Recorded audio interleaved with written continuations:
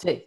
Perfecto. Eh, pues antes que nada quiero agradecerles eh, mucho a todos ustedes, a Raúl por su amistad y invitarme a estar aquí con ustedes un ratito para platicar de estos temas que son, eh, pues la verdad, muy interesantes en términos de las diferentes nuevas modalidades de imagenología en retina y vamos a hablar básicamente de, estas tres que estoy poniendo aquí y una cuarta al, terminar esta, esta, primera presentación, que es la microperimetría.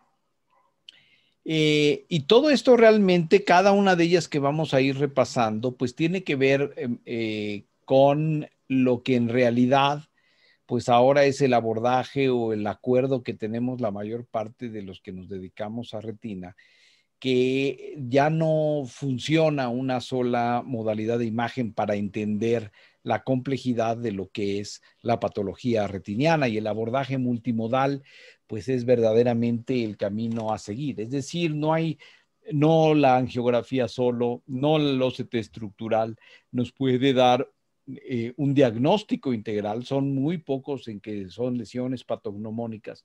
En la gran mayoría de los casos tenemos que hacer un abordaje de varias modalidades de imagen para poder tener una idea de lo que está teniendo el paciente. Entonces, de varias que hay, obviamente, en, en el área de la retina, empezaremos con eh, resaltar un poquito la importancia de la imagenología en infrarrojo. ¿Y cómo entendemos la imagenología en infrarrojo? En esta, en esta serie de eh, gráficas aquí, de diagramas de, lo que sería un corte de la, de la, pared del globo ocular, de la retina, particularmente a nivel de la coroides, pues vemos en la parte de abajo la zona roja que correspondería a la coroides y la coriocapilar, luego una capa ahí eh, café de células cúbicas, eh, que estaría representando el epitelio pigmentado de la retina y después, como ustedes ya lo reconocen ahí, lo que correspondería a la capa de conos hasta la superficie, que sería la membrana limitante interna, y en azules sería lo que sería el vítreo. Cuando nosotros eh, irradiamos a la retina con una cierta longitud de onda, en este caso que estoy poniendo aquí con la longitud de onda del azul, eh, esta longitud de onda corta del azul eh, pues lo que por su propia longitud de onda solamente nos ilumina o es capaz de distinguir lo que ocurre en la superficie de la retina. Entonces, toda la imagenología que tenemos con, esta imagenología en, la longitud de onda del azul, pues básicamente nos debe de servir para poder observar alteraciones que se encuentran en la superficie de la retina, como la fotografía que vemos eh, si nosotros combinamos eh, esto o analizamos lo que ocurre con eh, cuando irradiamos la retina con una longitud intermedia del espectro visible, es decir, la longitud de onda del verde, pues esa es una longitud de onda un poco mayor que lo que nos permite es entrar a todo el intersticio de la retina. Y el tipo de imagen que vemos en este caso, pues nos ayuda a ver precisamente alteraciones que se encuentren en todo el tejido estructural de la retina. Y finalmente, cuando nosotros, que es lo que nos vamos a concentrar ahora, irradiamos a la retina con una longitud de onda cercana al infrarrojo, pues por su propia longitud más larga nos permite tener una profundidad mucho mayor que nos permite llegar eh, poquito adelante del epitelio pigmentado de la retina. Pero la gran ventaja entonces de esta longitud en infrarrojo es que al, pasar por la parte superficial, el intersticio de la retina y llegar a las capas profundas, pues en una sola modalidad de imagen nos permite ver precisamente alteraciones que ocurren en todo el, en, todo el espesor de la retina. Estas tres imágenes clínicas, que están en blancos y grises, eh, obviamente, eh, si atendemos, por ejemplo, a los vasos sanguíneos, pues nos vamos a dar cuenta que es el mismo ojo, pero vemos particularidades distintas en cada una de ellas. Y la gran ventaja del infrarrojo es que nos permite ver desde alteraciones que ocurren en la superficie hasta alteraciones profundas a nivel del epitelio pigmentado de la retina. Y vamos a ver algunos casos eh, interesantes de cuándo puede ser útil este abordaje como una herramienta más del abordaje multimodal. Esto aquí todos podemos reconocer perfectamente que pues es una angiografía con fluoresceína, como dice ahí, y que eh, superó nasal a la fobia, pues hay una área difusa, tenue de hiperfluorescencia que corresponde a un paciente con una coroidopatía serosa central. Entonces aquí podemos ver que es el punto de fuga, es un paciente que se queja con las respectivas eh, metamorfopsias, pero la angiografía con fluoresceína, que es, digamos, la, por eh, el tiempo que lleva en, el armamentario diagnóstico del retinólogo, ¿verdad? Desde los 60 eh, en que Novotny y Alvis la, describieron en, en Circulation, esta angiografía pues nos permite ver el punto de fuga, pero no nos permite ver realmente el área que pudiera estar siendo afectada por, el, por la exudación que existe ahí. Y si yo hago una imagenología en infrarrojo, pues perfectamente puedo ver toda esta zona de un gris más intenso, que es precisamente el área que tiene el líquido y que está afectada. Entonces, vean, vemos, vamos viendo cómo son muchas veces eh, imagenologías que son complementarias. Particularmente en el caso de las serosas centrales, eh, por la facilidad de uso, por la practicidad y alcance, y esta tendencia que en muchas patologías, en mi concepto, hay de ir dejando de hacer angiografías con fluoresceína, pues a veces nada más nos quedamos con la pura tomografía, pero muchas veces en la tomografía también nos queda corta para poder entender en una sola imagen, como la que vemos aquí, toda el área afectada por el líquido. También ese subuso que hay actualmente de la angiografía con fluoresceína, pues no nos está permitiendo en los casos de, por ejemplo, de serosa central, que es este que estamos viendo aquí, pues de los puntos de fuga. Y eso porque es importante, porque si usamos tratamientos actuales que son altamente efectivos para esta patología, como es el láser de micropulsos, pues este tiene que ir dirigido precisamente a los puntos de fuga. Veamos este otro caso, este otro caso de una paciente de 68 años, donde vemos perfectamente con la angiografía con fluoresceína, pues todos estos puntos hiperfluorescentes que están alrededor de la fobia, que es un paciente con degeneración macular relacionada con la edad. Esta es la información que nos daría el abordaje exclusivamente con angiografía con fluoresceína.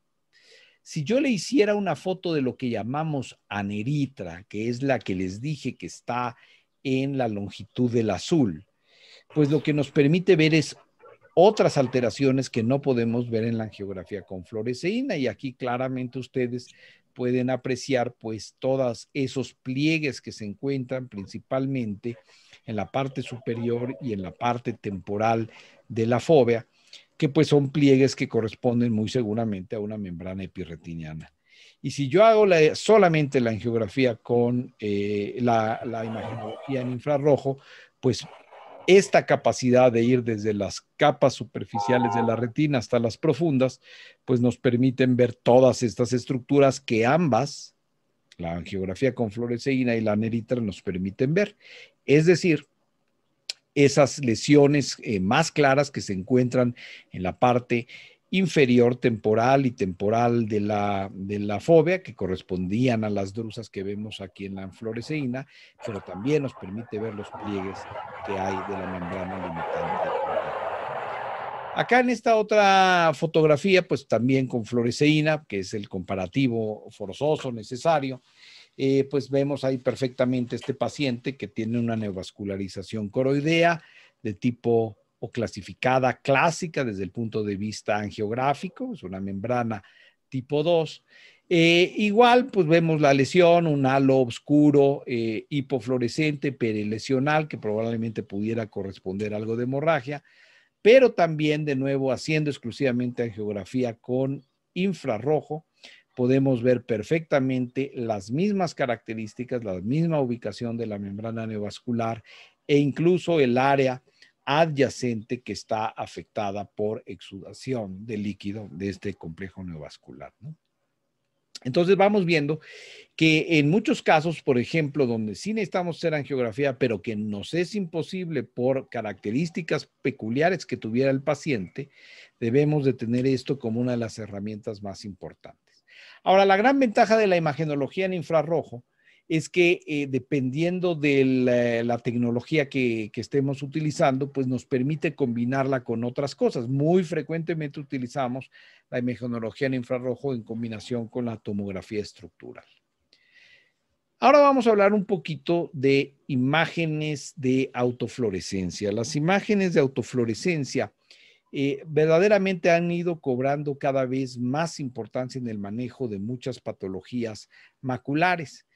Eh, es una nueva modalidad de imagen que ya no está nueva y vamos a ver que pues todo en realidad lo que es nuevo es el refinamiento y la capacidad de las eh, de, los equipos para poder tener mejores imágenes y imágenes analíticas, como vamos a poder ver de la autofluorescencia, pero que nos brinda mucha información. Si nosotros comparamos este mismo caso del lado izquierdo, una fotografía a color, pues sí vemos todas estas lesiones, estas drusas que están alrededor de esa zona central de atrofia geográfica, donde podemos ver los vasos coroideos, incluso esclerosados al fondo pero es muy evidente cómo del lado derecho el uso de la autofluorescencia nos permite perfectamente distinguir las zonas que eh, ya no hay vitalidad de la retina por pérdida del epitelio pigmentado de la retina, como lo vamos a entender en un momento.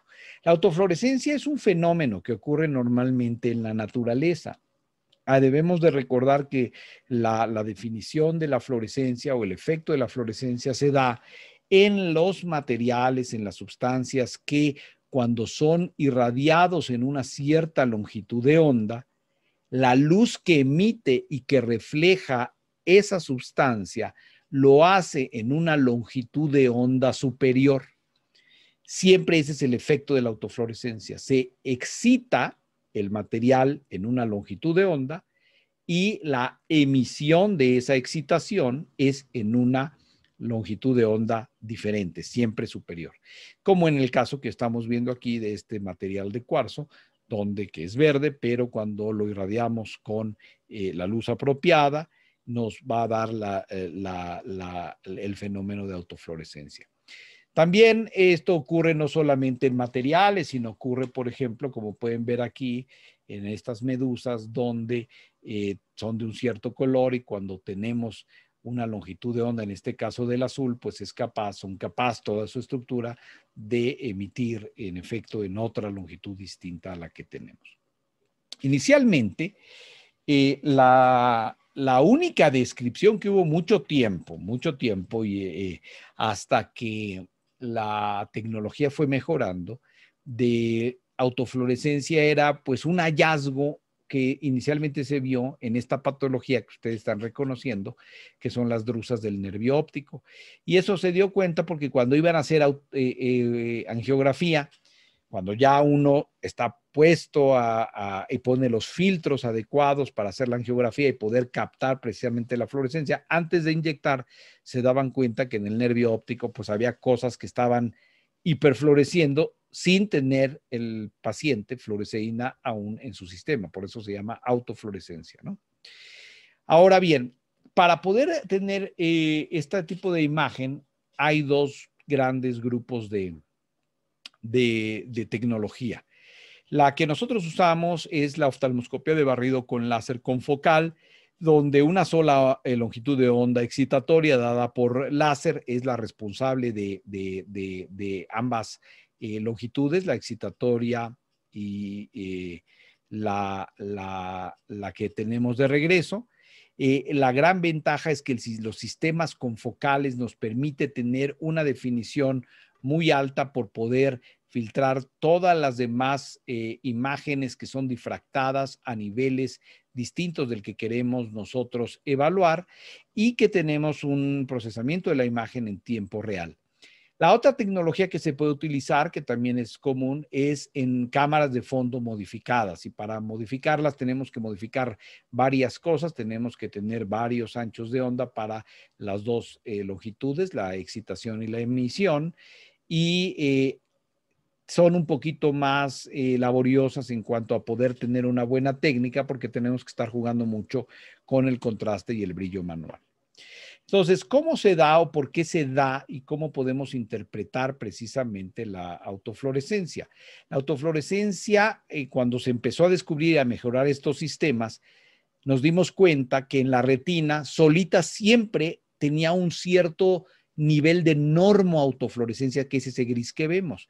Y ese gris viene a nivel del epitelio pigmentado de la retina, como estamos viendo nosotros aquí, donde recordamos que una de sus funciones más importantes es la de, precisamente la de la fagocitosis de los segmentos externos de los conos.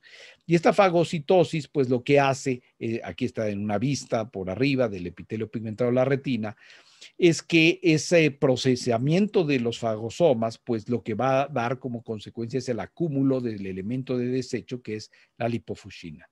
La lipofuscina contenida en los gránulos que se encuentran dentro del epitelio pigmentado de la retina son los responsables de la, eh, de la autofluorescencia en esta longitud de onda. Y si recordamos entonces que la causa y el origen es lipofuscina dentro del epitelio pigmentado de la retina, entonces estamos hablando que es un tipo de imagenología que nos habla del aspecto funcional, sano o no, del epitelio pigmentado de la retina y lo que esto implica. Por lo tanto, es un indicador importante de la actividad metabólica del epitelio pigmentado de la retina la localización, la ubicación de los gránulos de lipofuscina, como podemos ver en estas imágenes de inmunohistoquímica, es precisamente que se va acumulando en la periferia del citoplasma eh, a lo largo del tiempo y este acúmulo pues obviamente va aumentando con la edad. Aquí en esta composición podemos ver arriba a la izquierda una micrografía electrónica de transmisión donde podemos ver eh, por un lado, abajo la membrana basal del epitelio pigmentado de la retina. En la parte arriba se logra distinguir las plicas o las microplicas, que es la especialidad de membrana que tiene el epitelio. Y en el centro, pues todos estos espacios circulares que tienden a confluir, que serían los gránulos de lipofuscina. Arriba a la derecha eh, son tres cortes, eh, precisamente también con inmunohistoquímica, de eh, retinas donadoras de sujetos de 9 años, de 43 años y 97 años, y podemos ver claramente cómo la señal amarilla, que es la señal de la lipofuscina en este caso, pues va aumentando conforme va aumentando la edad. Y abajo a la derecha, pues se ve muy, de forma muy interesante, eh, en una micrografía electrónica de barrido, lo que sería eh, eh, la célula cúbica que vemos ahí, donde a través del citoplasma celular protruyen todos estos gránulos llenos, llenos de lipofuscina, y lo que vemos arriba, pues son las microplicas, esos como pelitos que salen ahí del epitelio pigmentado de la retina. Entonces, la, la cuestión es que recordando esta relación del origen de la autofluorescencia eh, en esta longitud de onda, porque es en la longitud de onda de 488 nanómetros, podemos usar o hacer autofluorescencias en otras longitudes de onda que están en investigación, en longitudes de onda mayores, pero en esta de aquí, la onda excitatoria es de 488 y la lipofuscina regresa la onda en una longitud de 500 nanómetros. Esa es la relación entre excitación-emisión. Eh, aquí pueden ver ustedes, por ejemplo, en el caso de la tecnología que, usamos nosotros, eh, tanto en la ceguera como en el consultorio, en la clínica, es que el, el, promedio y la, el sistema de mejoramiento de la imagen al estar alineadas y promediadas, pues nos pueden dar imágenes de muy alto contraste, como podemos ver a la derecha, a diferencia de imágenes simples, como es la que tenemos del lado izquierdo. Y cómo esto se hace en tiempo real. Eso que vieron que se ajustó ahorita en la pantalla es precisamente el procesamiento y el, y el promedio tomado exactamente en el mismo lugar, en este caso únicamente con 20 imágenes y pues es lo que nos da a la hora de hacerlo ahí. Tenemos que aprender a describir las características de la autofluorescencia. Primero, eh, ese, todo lo que vemos eh, fuera del centro de la fobia, ese gris claro que vemos ahí, es lo que nosotros nos llamamos normo-autofluorescencia.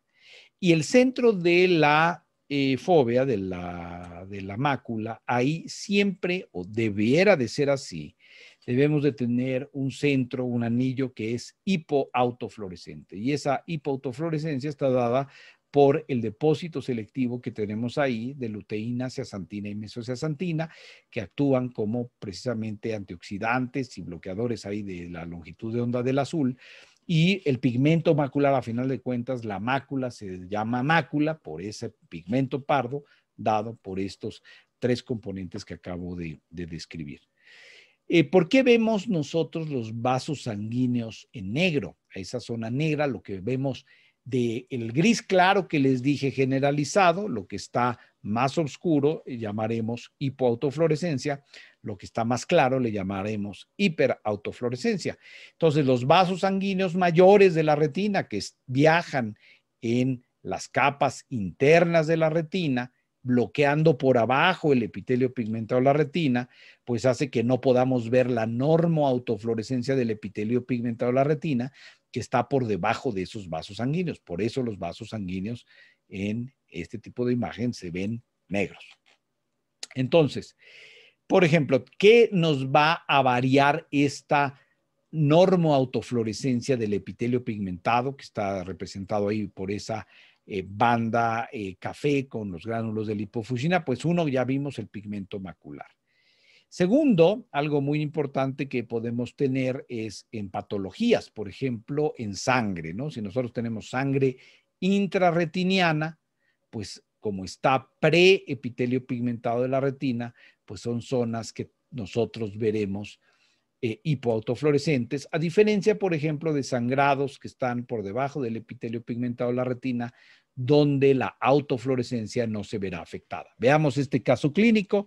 Este, vemos aquí este polo, en esta fotografía clínica, pues un complejo neovascular grande que tiene dos tipos de sangrados.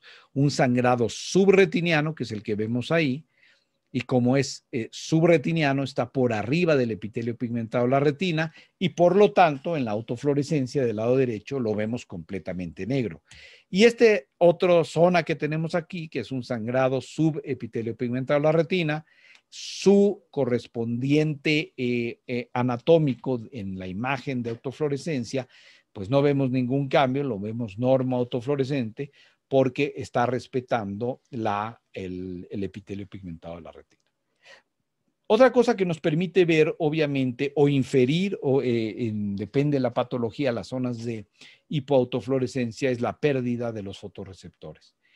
Cuando no por sangre, no por bloqueos externos como lo acabamos de ver por sangre, sino porque el epitelio pigmentado de la retina se ha muerto, como en distrofias o en la degeneración de la mácula, pues ya no existe el epitelio, ya no existe la lipofusina, y entonces, pues eh, de forma subsecuente se muere el resto de las neuronas, los fotorreceptores por degeneración valeriana. Entonces, eh, ahorita vamos a ver este ejemplo precisamente como las zonas completamente negras, pues son zonas no solamente de pérdida del epitelio, sino son pérdida de la de los fotorreceptores. Y esto, como lo comentamos, pues esto va aumentando con la edad. Aquí en este estudio, donde podemos ver en el eje de las X los años y por el otro lado el número de la cantidad de lipofusina, pues vemos cómo eh, hay una clara relación que a mayor edad, pues mayor aumento de los gránulos de lipofusina e incluso en los pacientes arriba de 50 años, si nosotros comparamos pacientes que no tienen degeneración macular y que tienen degeneración macular, pues hay una diferencia estadísticamente significativa en esto. Entonces, el uso de la autofluorescencia, pues es variado. Lo podemos usar en distrofias de retina, varias de ellas, como vamos a ver aquí, por ejemplo, en esta distrofia macular, donde vemos claramente el borde precisamente de esta lesión aquí en tiro de blanco. Y muchas de estas lesiones en varias distrofias maculares, pues exactamente el borde donde está aumentando la distrofia, como vemos aquí, casi siempre es hiperautofluorescente y esto se supone que es por un estrés metabólico del epitelio pigmentado que antes de morir empieza a producir mucho más tipo Fushina. Probablemente la enfermedad donde lo más lo usamos de forma más cotidiana es en la degeneración macular y específicamente en la degeneración macular atrófica eh, y aquí, por ejemplo, la correlación directa con la tomografía estructural, pues es directa. Si nosotros vemos arriba a la izquierda en la fotografía clínica, hay dos segmentos mucho más eh, que tengo ahí en verde que son los que corresponden acá abajo en, esta zona de aquí, ah, eh, donde ya no hay epitelio pigmentado, y entonces por eso en la imagen de autofluorescencia se ve completamente negro. Y esa zona, pequeña zona gris entre las dos zonas de atrofia, pues todavía hay uno que otro epitelio pigmentado ahí, célula que está ahí ya muy reducido de tamaño, pero que seguramente sigue teniendo lipofusina porque nos está dando señal en la imagen de autofluorescencia, ¿no? ¿Para qué nos puede servir esto? Obviamente para monitorear tratamientos, por ejemplo, eh, en los nuevos que están viniendo, que estamos realizando con los eh, estudios de inyecciones para atrofia geográfica, eh, o en el simple control de pigmentos maculares cuando estamos dándole a los pacientes luteína. Y obviamente el seguirlo a lo largo del tiempo, pues nos va a permitir cuantificar diferentes variantes genéticas muchas veces en correlación, que es una de las cosas que estamos haciendo, porque en muchos pacientes que empiezan con este tipo de atrofia geográfica, eh, pues tienen una correlación. Hay unos que son progresores muy rápidos y otros que son progresores muy lentos. Vean esto a lo largo del tiempo, abajo es la fecha y en video podemos ir viendo cómo va creciendo la zona de atrofia. Y lo mismo lo vamos a ver en ahorita que cambie de imagen para que lo puedan ver cómo va a ir aumentando el, tiempo, los años, los estudios y cómo va creciendo la zona de atrofia. Pero quiero que se fijen, en el, ahora que cambie de imagen, cómo la zona de atrofia muchas veces sigue las zonas de hiperautofluorescencia, que son las zonas donde el epitelio pigmentado está en un mayor estrés y es la zona donde va creciendo precisamente la zona de atrofia. En este caso, por ejemplo, si nosotros vemos en este, en este ejemplo, es un paciente que tiene una pequeñísima isla central que está casi normo autofluorescente. Y eso lo vemos con mucha frecuencia. Son pacientes que incluso pueden tener agudezas visuales útiles, 20-40, algunos 20-50, 20-30, pero se quejan muchísimo. ¿Por qué? Porque eso lo ven exclusivamente con ese pedacito que está en el centro, mientras que todo lo que está alrededor no lo pueden ver porque ya hay pérdida de fotorreceptores, del epitelio y secundariamente fotorreceptores. Y entonces, obviamente, la lectura y todo esto es difícil.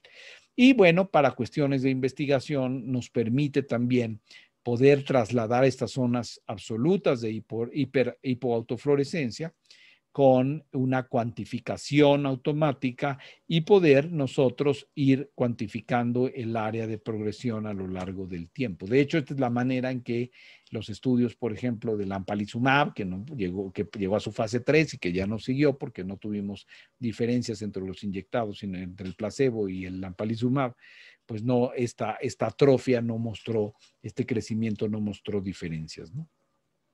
Entonces, la gran ventaja es disminuir la tasa de progresión y eso es midiendo y la mejor forma de medir este tipo de patología es con la autofluorescencia.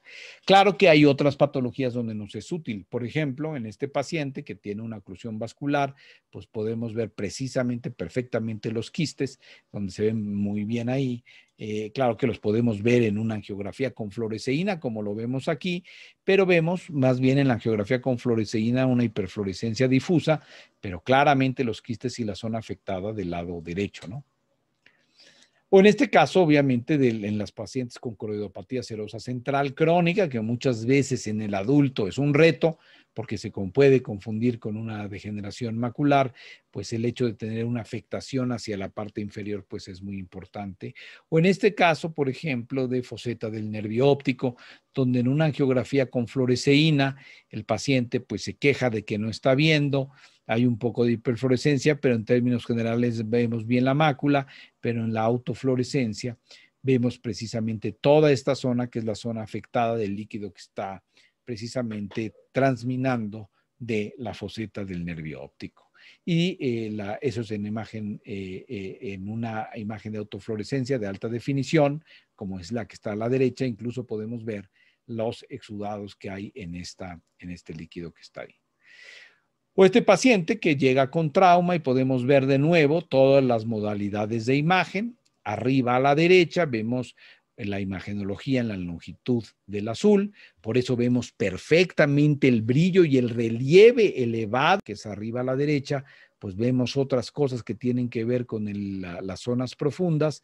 En la imagen de la fotografía clínica, pues vemos que puede ver ahí zonas de sangre, pero si yo le hago la, a la autofluorescencia, veo cosas que no podía yo más que sospechar, tal vez por la agudeza visual, que son estos trazos de fracturas coroideas que eh, perfectamente se pueden distinguir aquí en la imagen de autofluorescencia.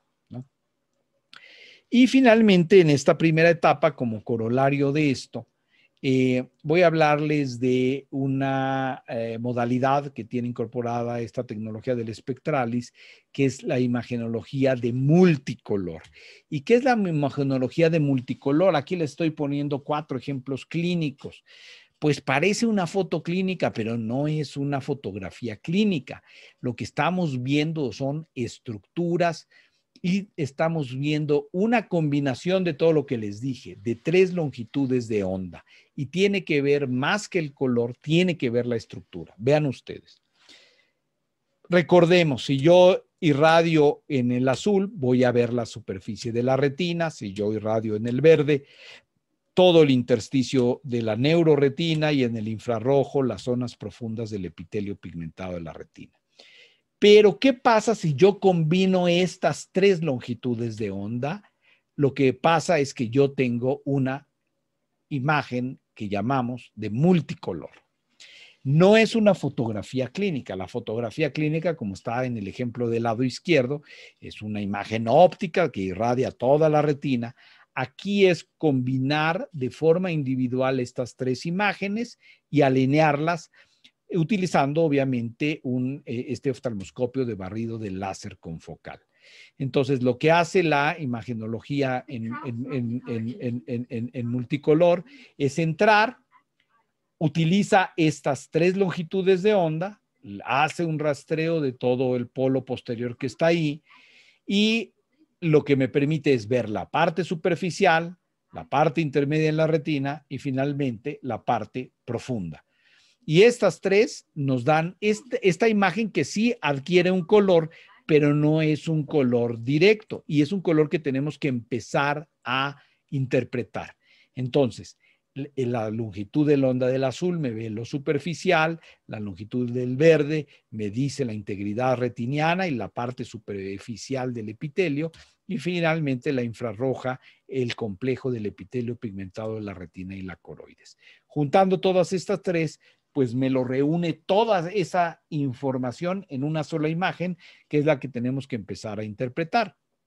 Y obviamente, una gran ventaja es que la imagen de multicolor la podemos hacer de forma simultánea con la tomografía estructural. Entonces, vamos a ver, por ejemplo, algunos ejemplos de algunas patologías aquí y cómo interpretarlas. Veamos, por ejemplo, esta primera, que es la membrana epirretiniana. Pues sí, son patologías cotidianas que vemos nosotros, pero nos permite tener un mucho mayor detalle, por ejemplo, de la extensión muy clara de todos los límites de esta membrana epirretiniana que más que en la tomografía, porque mucha gente me da, eh, eh, eso es algo que yo nunca he entendido, en, eh, muchos colegas, amigos míos, entran a la, a la, cirugía de membrana epirretiniana con un OCT, realmente más que el OCT, pues lo que nos sirve es esta imagen para saber dónde están los límites de la membrana y todo el área que tengo que tratar o este epitelio pigmentado de la retina, despegamiento del epitelio pigmentado de la retina. Una de las características diagnósticas en imagenología en multicolor es que lo que vemos verde son zonas elevadas es como se ve. Esto que vemos aquí en verde en el centro, pues este es el despegamiento del epitelio pigmentado de la retina, pero como está en verde y sé que es una imagen en multicolor, sé que es una zona que está elevada y lo vamos a ver en algunas otras cosas.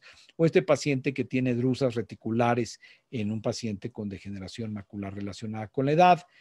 Este otro caso, que es un paciente que tiene pliegues coroideos, vemos perfectamente cómo esos pliegues vienen en la parte profunda, se ve como una alfombra mal este, tendida, perfectamente y ahorita vamos a ver cómo es su correlación con la tomografía estructural o los síndromes de tracción vitreomacular que vemos aquí, que de nuevo esta es una imagen muy útil para la planeación quirúrgica.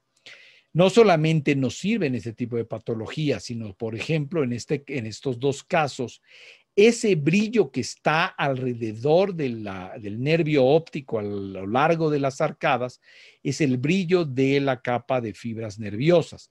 Y podemos ver en estos dos casos perfectamente cómo eh, si nosotros comparamos la mitad superior con la mitad inferior, lo que tengo señalado ahí en ese círculo verde, pues son zonas de pérdida o de defectos del epitelio pigmentado de la retina, que muchas veces en pacientes con glaucoma lo podemos tener y ustedes ya pueden ver aquí perfectamente, vislumbrar ese, ese defecto epitelial, que, ese defecto no epitelial, este defecto de la, de la, de la capa de fibras nerviosas en este paciente que tiene glaucoma.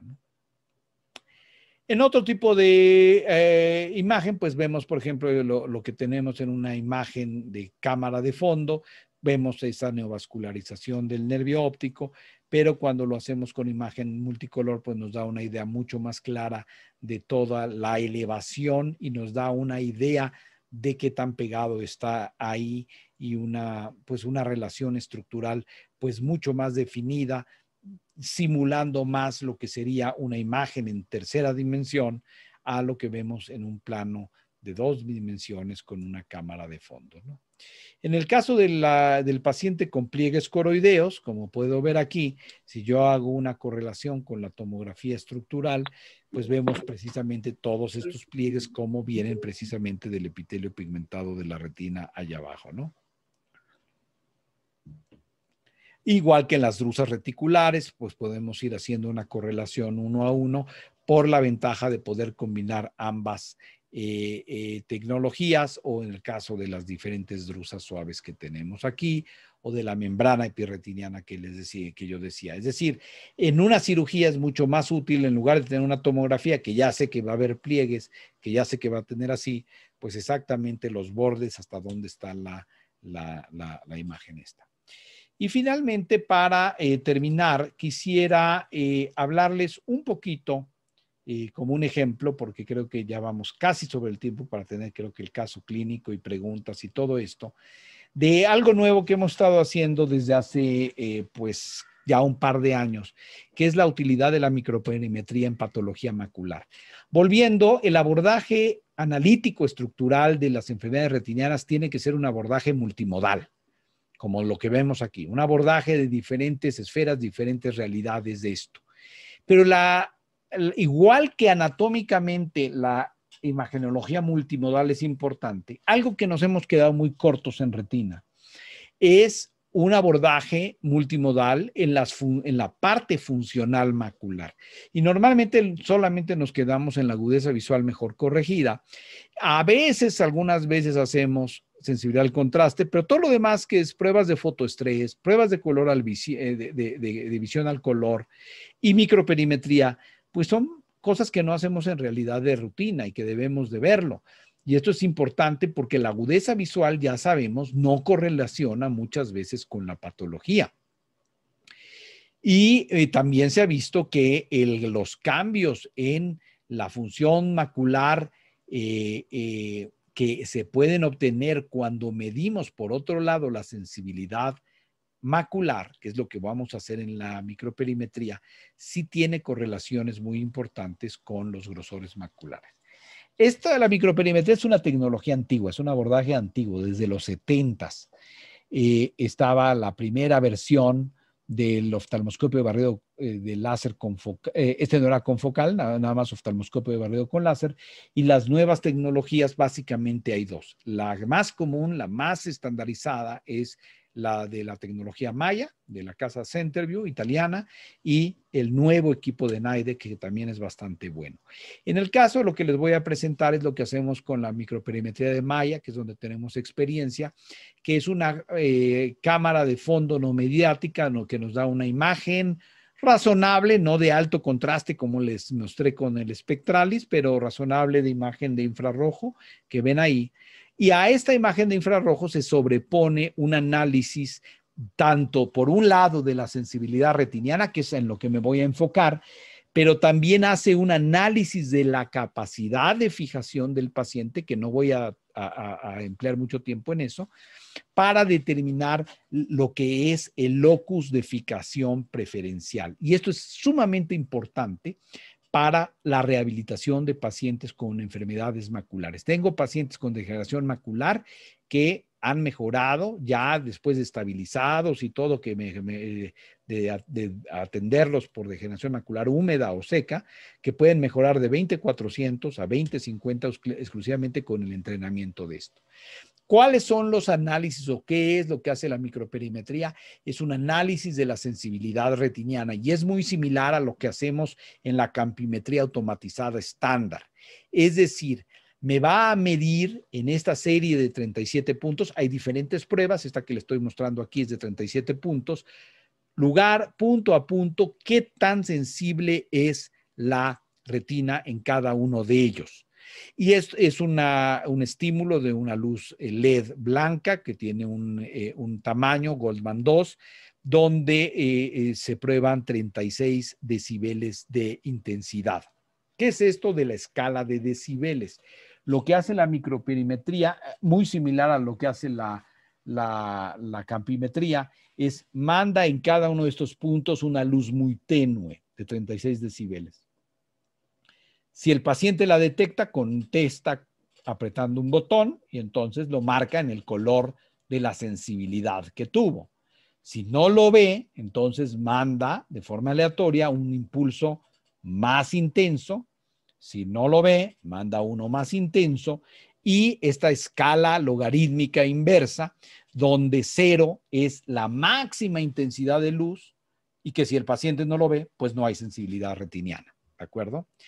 Una característica de todos los equipos de microperimetría es que están estandarizados para ellos mismos, pero no hay compatibilidad entre equipos, porque la estandarización del mínimo de luz al máximo de luz varía dependiendo de la fuente de luz. Por eso los resultados siempre deben de compararse con el mismo tipo de de equipo, no hay estandarización entre los eh, eh, eh, equipos distintas.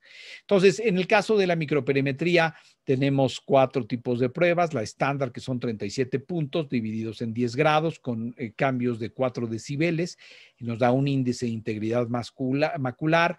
Hay otros que se llama de supraumbral, que es para pacientes que tienen mucha mayor patología, nada más prueba dos niveles de sensibilidad, 27 y 25 decibeles.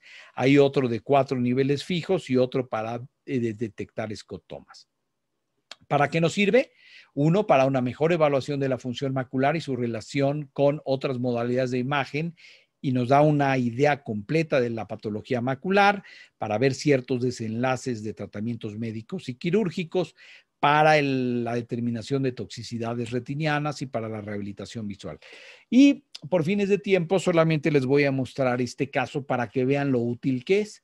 Este es un paciente, una gente muy, muy eh, eh, distinguida, muy reconocida en, México, un abogado que fue miembro de la Corte Internacional de Justicia, llegó a la clínica, me lo refirieron diciendo por mala agudeza visual, el ojo derecho estaba en 2040, el ojo izquierdo en 2060 y la foto clínica muestra esto que ustedes están viendo aquí, pues es un paciente de mayor edad, 70 años, que tiene pues ciertos cambios eh, propios de degeneración macular. En el caso del ojo derecho hay una zona clara de atrofia geográfica nasal a la fobia y en el otro, en el ojo izquierdo igual, pero en realidad si ustedes lo ven, pues la zona central de la fobia se ve bien, es decir, no se ve con gran patología.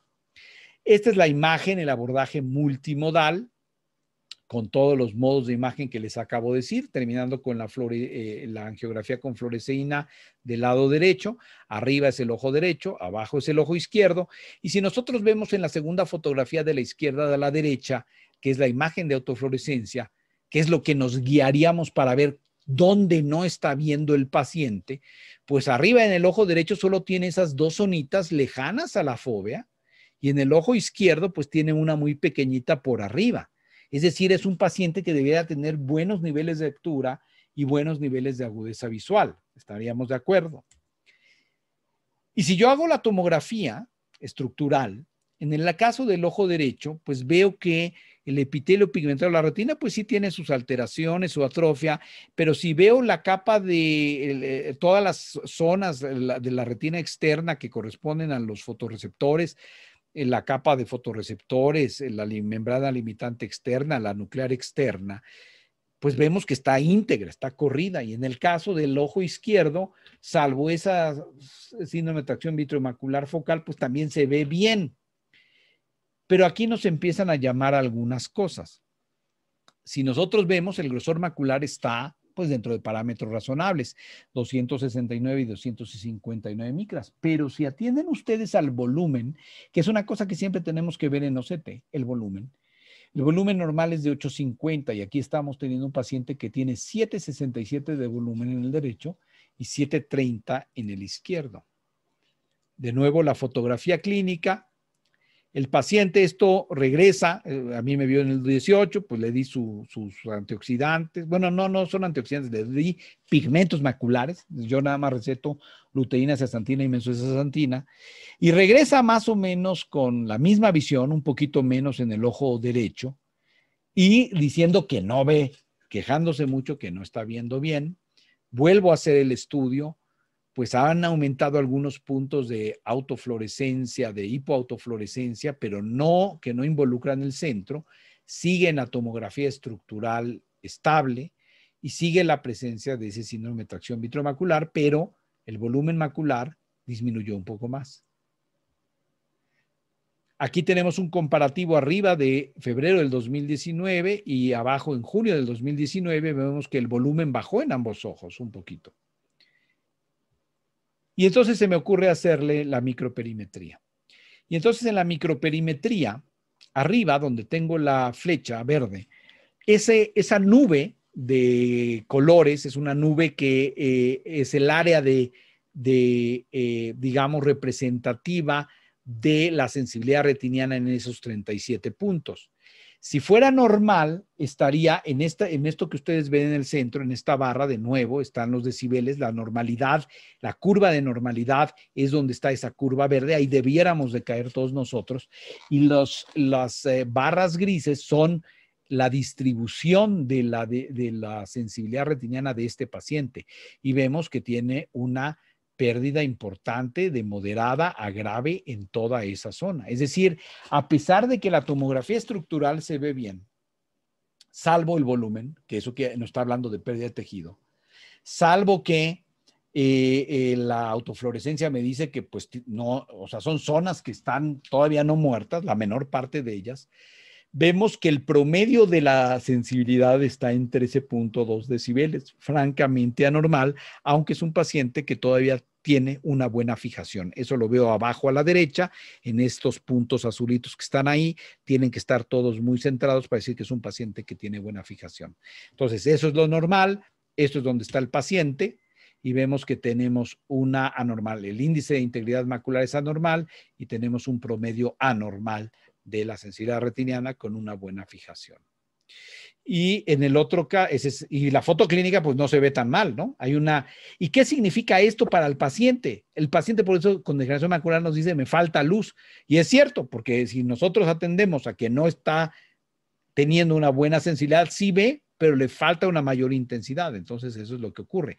Y si nosotros combinamos esa foto clínica con la autofluorescencia, y con esto yo combino lo que está sucediendo con la eh, microperimetría, pues me da una idea muy clara de qué es lo que tiene el paciente. El, eh, el auto, la microperimetría me ha servido verdaderamente de forma muy importante para entender al paciente y el paciente entiende ya claro cómo está viendo cuando le mostramos esto. Esto es el otro ojo P que vemos dónde se encuentra el paciente en una pérdida mucho más importante de la visión, tiene 9.8 de, eh, de 0 a 36, que es lo normal, y aún conservando una buena fijación. Entonces es un abordaje donde combinamos la parte funcional y la parte de la estructura, ¿no?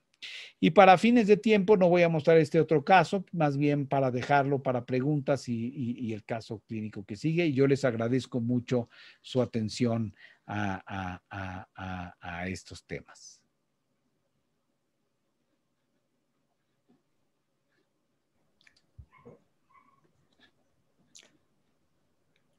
Muchísimas gracias, doctor. Eh, si tienen por ahí alguna duda, algún comentario, por favor escríbalo en el chat para poderlo hacer llegar. Raúl, ¿tienes por ahí algún comentario, alguna pregunta? Muy interesante tu, tu charla, Hans. Hans, una pregunta. ¿Tú crees que la tecnología ha avanzado bastante. Hemos visto cómo han cambiado los equipos en los últimos 15 años, sobre todo en los últimos 10 años, pero yo creo que ha avanzado tanto que ha dejado de lado cosas como, por ejemplo, la angiofluoresceинografía con fluoresceína, ¿no? Yo creo que tenía una escala de, de color de negro a blanco, y ustedes saben que hay una gama muy grande de, tonos de negro a blanco, que nos permitía vencer rápidamente algún tipo de lesión. ¿Tú crees que la tecnología ha sobrepasado eh, eh, y, nos ha quitado ese, placer de tener e, ese tipo de, exámenes que teníamos antes? Yo me acuerdo en la PEC cómo teníamos esas impresiones en blanco y negro que eran eh, clarísimas. ¿no? ¿Algún comentario al respecto? Bueno, sí, realmente ya, ya ni hay dónde revelar los, los codalites de, de, las angiografías que hacíamos antes en, en el papel este como de radiografía, ¿no? Pero ahora realmente los sistemas de digitales son súper poderosos. Más bien yo creo que tenemos que aprender a indicar la, tecnología este, de acuerdo a la patología, porque hay las dos tendencias. Eh, eh, antes se abusaba tal vez de la fluoresceína, porque aparte no teníamos otra cosa. Antes del OCT, solamente durante décadas y décadas, de los 60 al 2000, nada más hubo cuarenta y tantos años nada más hubo angiografía con fluoresceína. Eh, pero ahora vamos, estamos en el otro lado. Muchas patologías que deben de ser estudiadas con angiografía con fluoresceína, pues no sé si es porque ya no aprendieron a indicarlas o por miedo este, a la fluoresceína, pues que sí tienen sus efectos colaterales, pero afortunadamente son muy remotos se ha dejado de hacer. Entonces yo creo que en todas las patologías vasculares debemos, por lo menos en la evaluación inicial, por lo menos, seguir haciendo angiografía con fluoresceína y combinarla con todo lo demás de la herramienta multimodal. Nunca un solo modo de imagen nos va a dar una comprensión adecuada de la patología del paciente y de la evaluación de los desenlaces eh, terapéuticos que pongamos, ¿no? ¿Algún comentario de la audiencia? Sí, hay, una pregunta aquí. Del, ¿Alguna pregunta? Hay, una pregunta aquí del doctor Héctor Guillén. Dice, la, imaginología con focal eh, multicolor solo es usada por Heidelberg o también por otras compañías y desde cuándo se usa? Eh, hasta donde tengo entendido, sí, es un tipo de imaginología utilizada exclusivamente por Heidelberg, por el Spectralis y es una, eh, el Spectralis es una tecnología, una plataforma que se puede configurar de diferentes maneras. Tiene que tener la configuración de hacer múltiplo color porque no todas tienen las tres longitudes de onda, ¿de acuerdo? Entonces, eh, y aproximadamente tendremos unos cinco años con imagenología de multicolor. Pero la verdad es bien, bien útil. Cuando ya la aprendemos a ver, incluso es mucho más eh, útil que eh, que, la fotografía clínica. La fotografía clínica depende de la cámara de fondo, depende de muchas cosas, ¿no? Entonces sí tiene cinco años. Aquí hay una siguiente pregunta que acaba de hacer Andrea Costa, que dice, ¿en qué casos ordena OCT angiografía? Este es otro, ese es otro tema muy grande, ¿no? La OCT angiografía. Eh, y hoy por hoy, la OCT angiografía, eh, yo, yo hace tiempo participé en un debate en el Congreso Mundial de Retina, no en contra, pero sí que la, el OCT en geografía todavía no estaba lista para el tiempo estelar, para el prime time era el tema.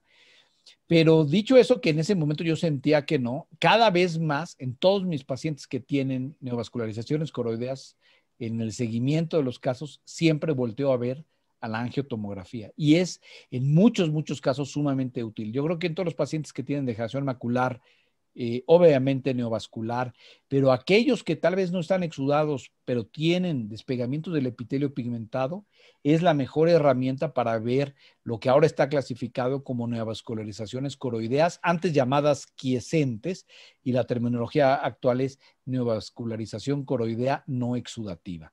Y hemos aprendido muchas cosas con la angiotomografía.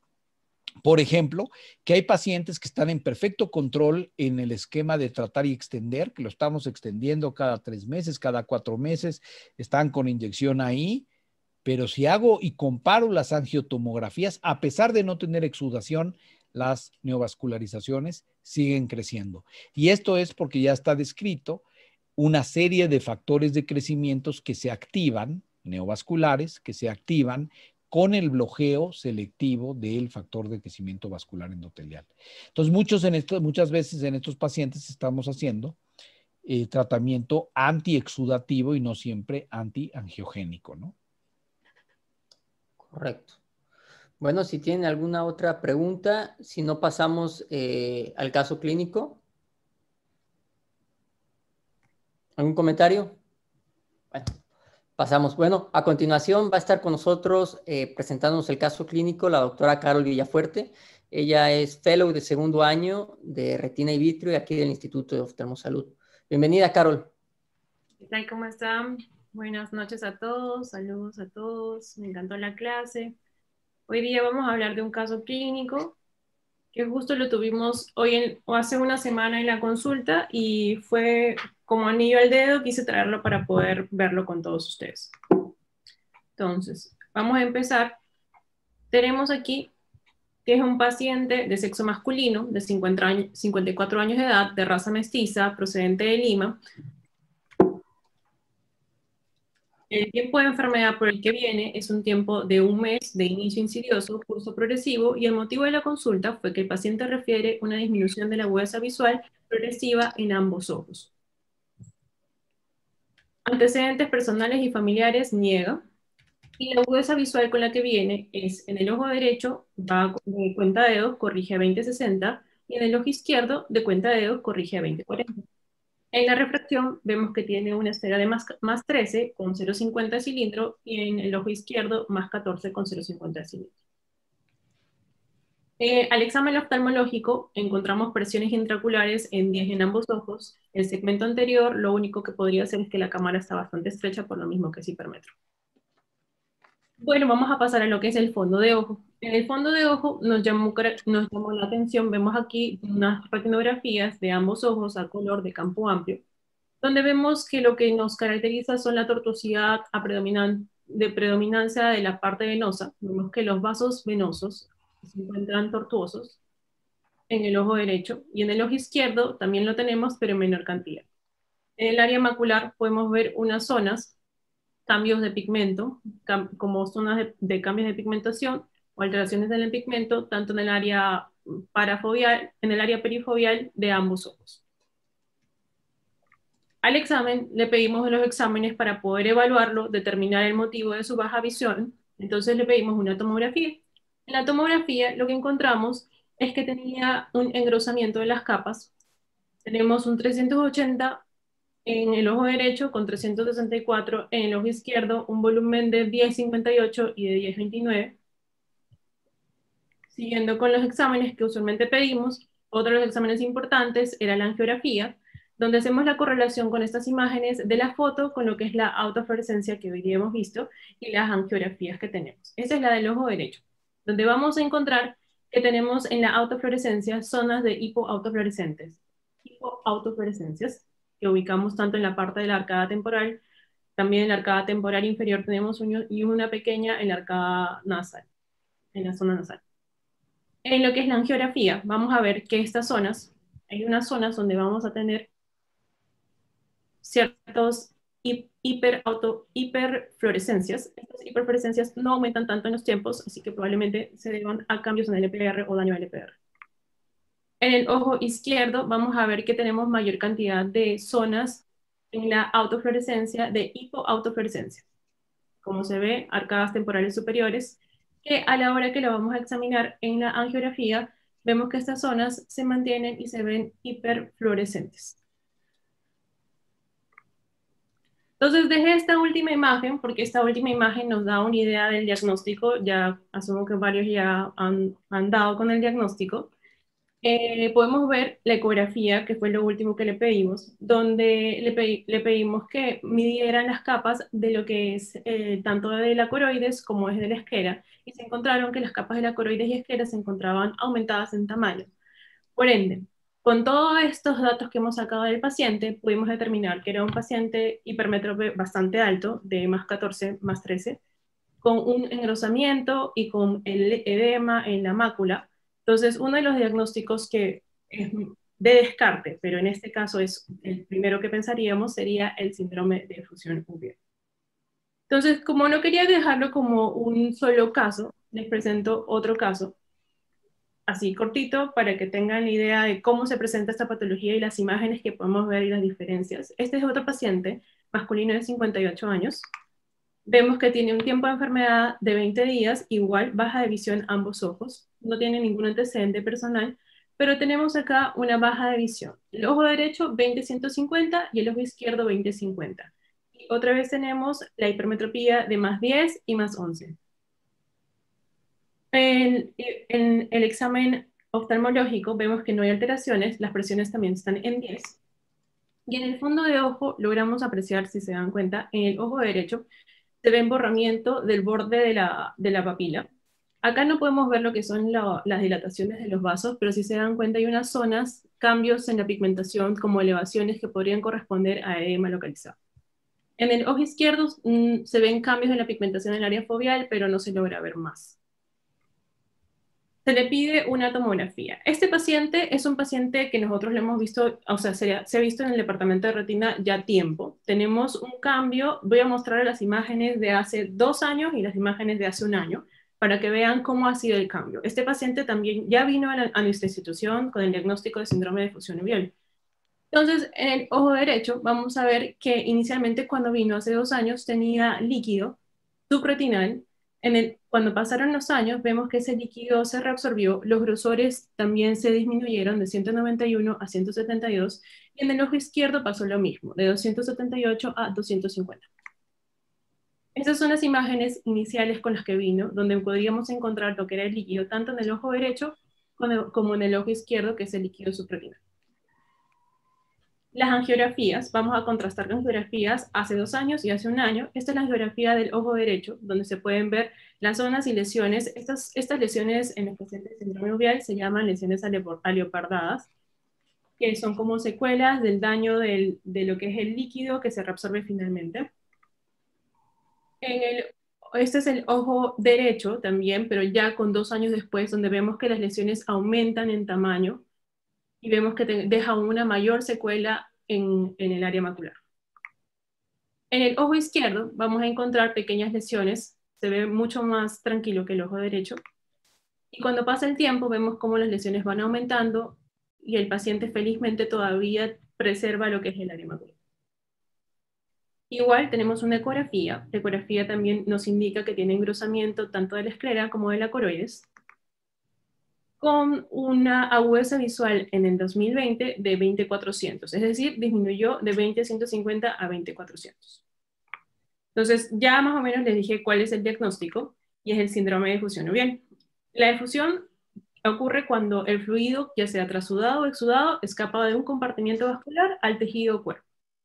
La difusión uveal es cuando el trasudado escapa de la coriocapilaris a un espacio potencial de alrededor causando engrosamiento de la coroides o desprendimiento coroideo. Puede estar asociado con fluido en el espacio subretinal y esto puede llevar a desprendimientos de retina seroso secundario. La difusión uveal idiopática, o también llamado síndrome de difusión uveal, es un diagnóstico de exclusión. Acá tengo todos los diagnósticos diferenciales con los que podemos, podemos descartar o podemos hacer el diferencial. Una de las más comunes es lo que es la central serosa crónica, otras son las escleritis posteriores, el desprendimiento de retina reumatógeno, las coroiditis multifocales, melanomas uveales, metástasis, el boco yanai y las enfermedades sistémicas como el nixedema o el mieloma múltiple. La clasificación puede estar asociado a pacientes con hipermetropía o nanoftalmos y también puede ser los idiopáticos. Las características clínicas las hemos visto en ambos casos, vemos que estos pacientes suelen tener un periodo de remisión y luego una pérdida severa debido a que el fluido que se localizaba se vuelve crónico en el espacio submacular y finalmente se ven como cambios en el EPR. Se presenta en ambos ojos en el 65% de los casos y la incidencia no ha sido reportada ya que es una enfermedad extremadamente rara. Está asociado a nanoftalmos, que estamos hablando de más 8 dioptrías a más 20 dioptrías o menor de una longitud axial menor de 21 milímetros. El segmento posterior. Vamos a encontrar lo que habíamos visto, elevaciones coroideas, fluido supratinal, cambios secundarios del EPR que están descritas como manchas de leopardo y el desprendimiento de retinas serosos. El motivo por el cual se cree que se presenta esta enfermedad son principalmente dos de ellos. Uno, la compresión de las venas vorticosas en menor porcentaje, que se cree que por el engrosamiento de la esclera ocluye el flujo venoso de, las, de lo que serían las venas vorticosas, y el otro más importante, que es la reducción de la permeabilidad de las proteínas esclerales, ya que el fluido se mantiene por fuerzas osmóticas debido a una reducción de la difusión tanto de las proteínas como del agua, porque la esclera se encuentra muy engrosada. Existen otros motivos, como reducción de la conducción hidráulica escleral, la hipotonía crónica y la permeabilidad aumentada de la coroides. Histológicamente, lo que se encuentra en los pacientes es que cuando se hace un corte, encontramos material almorfo parecido a glucosaminoglicanos que llenan esos espacios interfibrilares del tejido escleral y producen una disrupción de las fibras de colágeno. Y estos cambios finalmente en la esclera hacen de que tengamos una dificultad para la salida. En los tratamientos hay distintos tipos de tratamientos, desde descompresiones de las venas vorticosas hasta lo que es la esclerotomía y esclerotomías, esclerectomías y esclerotomías, donde se hacen pequeñas ventanas. Uno de los estudios es el de Johnson y Gass, que habló de 23 ojos, donde se encontró una mejora anatómica luego de hacer la esclerotomía en 83% con una sola cirugía y 96% cuando teníamos una o dos. La visión en estos pacientes mejoró dos líneas en 56% de los pacientes, se estabilizó en 35% y empeoró en 9%. Uno de los estudios que encontré y que los quise traer es el tratamiento de corticoides. En la mayoría de la literatura habla de que los corticoides realmente no tienen implicancia, no encontraron mejora, pero este estudio de, publicado en el 2017 por Carol Schiss, colaboradores, presentó de que utilizando distintas rutas de corticoides podíamos lograr un control de la enfermedad en el 95% y llevaban a un rango de cirugía por la ventana escleral a solo un 5%. Entonces, de acuerdo con este estudio, los corticoides podrían beneficiar a este síndrome para poder tener algún tipo de mejora final en esos pacientes. Entonces, eso sería todo. Muchas gracias.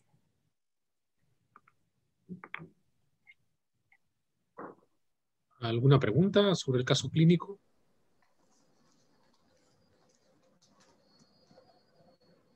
Excelente caso, Carol. Oye, ¿qué tan común es encontrar este, esta patología? Es súper rara, muy, muy rara. No hay una incidencia porque es bastante rara. Por eso tenemos dos casos y son de la clínica. súper bueno.